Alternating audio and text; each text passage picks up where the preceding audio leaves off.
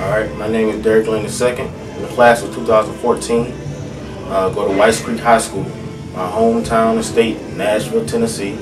I play first, third, and second base.